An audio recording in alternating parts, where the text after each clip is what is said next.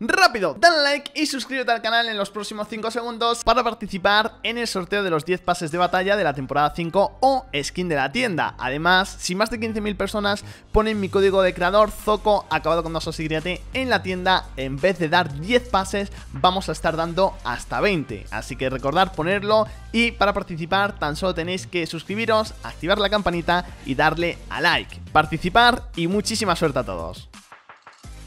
En el día de hoy estaremos viendo dónde se encuentran todos los nuevos jefes que han incluido en el mapa. Os enseñaré una imagen para que sepáis exactamente sus localizaciones. Y además veréis algunas de las almas que nos estarían dando. Son espectaculares, tardamos poquito en matarlos, la verdad que algunos sí que están un poquito más chetados, cuesta algo más destruirlos, pero una vez que acabáis con ellos os darán sus almas y ojo porque hay algunos de ellos que nos dan hasta dos y no son armas normales, sino que serían armas bastante chetadas. Así que empecemos por el primero que os quería enseñar, que sería el de Brutus. Fijaros que lo tenemos por aquí, aparte de intercambiar con él, ya sabéis, con esas barras o esos lingotes, pues vamos a poder estar luchando, enfrentándonos a este boss y una vez que lo derrotemos, atentos al arma que nos dará. Esto sin duda sería muy interesante ya que digamos que esta localización no suele ser una muy importante del mapa, pero Estando Brutus y dándonos este subfusil, sin duda se convierte en una localización muy interesante para aterrizar, ya que digamos que podemos caer, hacemos algún intercambio, lo matamos y de esa manera nos estaría dando el subfusil que está muy chetado y de verdad que esta temporada va a ser súper importante para utilizarlo.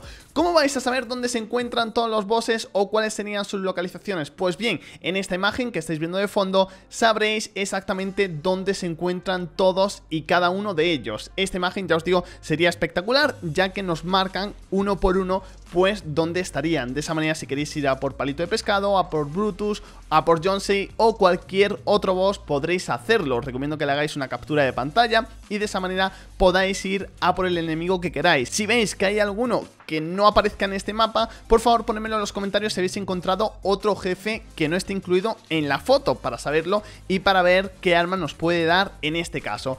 Hay algunos jefes que serían más importantes que otros, ya que nos dan mejores armas o peores. Por lo tanto, en este vídeo os voy a poner las dos comparaciones para que veáis exactamente qué boss te dan armas muy poderosas, como es este que vais a ver ahora mismo, que de verdad me parece de los mejores, sin duda. Y hay otros, pues, que en cambio te dan, pues, un subfusil gris o te dan una escopeta gris, así que esos serían menos importantes. Pero fijaros, este que tenemos aquí en esta fábrica que sería pues un lugar también no muy importante, un lugar que tampoco vamos a hincharnos, pero que si venimos ahora, gracias a este boss que ha puesto Fortnite, vais a ver lo que vamos a sacar de esta localización una vez consigamos acabar con él, que por cierto, está muy muy duro, hay que darle bastantes balas, cuidadito además porque él también te infla a tiros, así que una vez que acabáis con su vida, automáticamente nos darán este fusil legendario, sin duda fusil espectacular durante la temporada 5 y Además, nos dan el lanzacohetes. Sí, nos dan un RPG, así que ya os digo,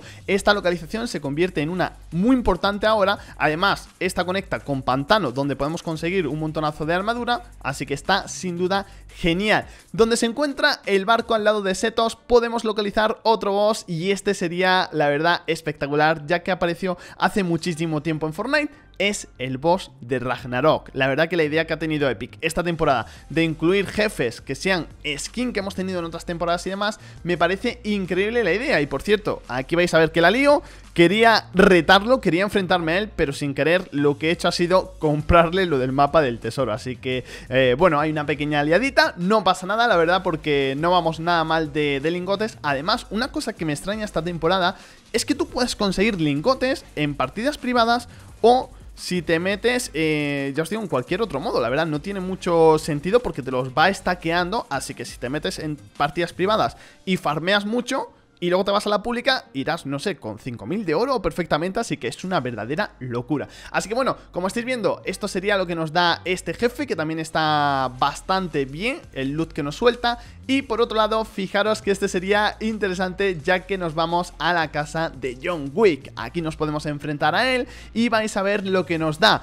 No es un arma tan importante como podría ser un fusil legendario, pero la verdad que para aquellos que les gusten los francotiradores y quieran empezar desde el inicio de la partida con uno, pues podéis venir aquí, es muy fácil de matarlo, fijaros que apenas eh, va a disparar, así que sería súper sencillo y podéis encontrar un francotirador desde el inicio de la partida, así que sin duda ya os digo, esta localización os la recomiendo al 100%. Por otro lado, quería enseñar este, vais a ver que este no sería tan importante, pero obviamente es palito de pescado, así con el traje militar, y lo que nos suelta, la verdad, es lo peor del mundo, este es un fusil así en gris, lo sé, es muy malo, pero la verdad me hacía gracia que está por aquí, pues palito de pescado tan tranquilo, y además hay varios palitos de pescado en el mapa, que ya habréis visto en otros vídeos que os he traído al canal.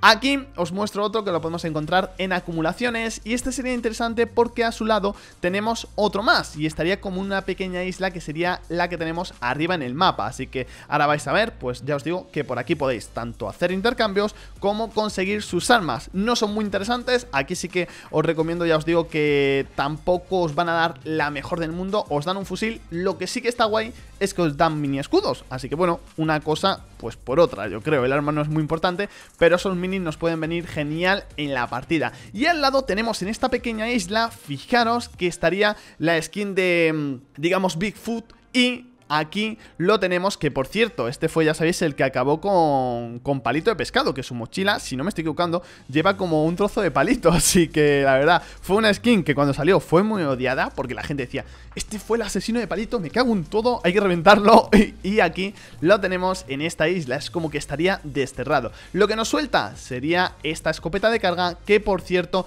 ha sido mejorada, ahora recarga más rápido, y además tenemos una bala más en el cargador. Antes eran solo tres, y ahora han agregado hasta 4, así que os quería enseñar esta localización para que veáis sobre todo el cambio que le han hecho a esta escopeta de carga y sepáis, pues ya os digo, esa nueva modificación que ha tenido. Y por último, quería compartir con vosotros estos 6 archivos de audio, los cuales ha grabado Jonsei y digamos que detalla un poco pues cada uno de los cazadores que tenemos en esta nueva temporada. Sobre todo, esto seguro estará relacionado con lo que va a ocurrir al final con ese evento y sería los cazadores de Jonsei. Informe de Realidad 1987.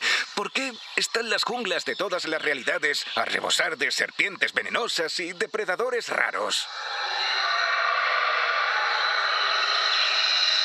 Ah, en fin, merecerá la pena cuando encuentre a Maeve. Los lugareños la llaman corazón salvaje. O lo que es lo mismo, una cambiaformas. Se dice que los dioses le han concedido tres formas.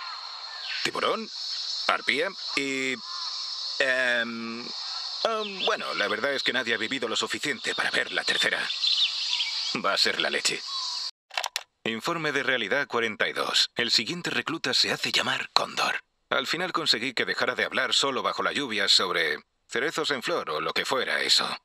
Según una leyenda local, se trata de un espíritu vengativo que ha pertenecido a la familia del emperador desde hace siglos. Dicen que es capaz de conceder cualquier deseo por venganza, sin importar lo terrible que sea. Así que tenemos que tener cuidado con lo que pedimos. Informe de realidad 312. He conseguido asientos en primera fila para ver a este tipo en acción. Menudo guerrero. Este tío tiene los músculos, la intensidad, la... la disposición para hacer eso. ¡Buah! ¡Qué asco! Oh, no. No, no, no, no, no. Mira esos pobres peleles yendo a por él. ¡Daos la vuelta! Esto no va a acabar como vosotros pensáis. Quizá me cueste reclutar a este tipo. ¡Oh, vaya! ¡Wow! Dame un segundo porque tengo la adrenalina por las nubes. Bueno, es una caza recompensas. Una caza recompensas eh, eh, espacial. Y acabamos de luchar contra... No tengo ni idea. Tenía como nueve edificios de altura y estaba que trinaba. Pero tenía láseres. Y entonces hizo ¡Pum! Movimientos en gravedad cero. Y se me va a salir el corazón por la boca porque pensaba que había llegado mi fin. Pero ni se inmutó. Va a ser imparable en la isla. Tengo que sentarme. Me estoy sentando. ¡Oh, wow! Ah. Informe de realidad 3258. No me quito de encima la idea de que algo me persigue. Bueno, sea lo que sea, le deseo suerte, porque acabo de pedirme un desayuno de muerte. No, en serio, tenéis que ver a este tío, está cuadrado. Perdona, ¿me pones una cajita para llevar para mi amigo? Informe de realidad 982. Sabéis, al principio pensaba que tenía que haber, no sé, algún tipo de error. La caza recompensas a la que estoy siguiendo tenía que ser una sociópata sin piedad, ¿no? Pero Lexa... Bueno, parece que viene del planeta Amistad. En serio, si me dijerais que su mejor amigo es un gato mágico que habla, no me sorprendería lo más mínimo.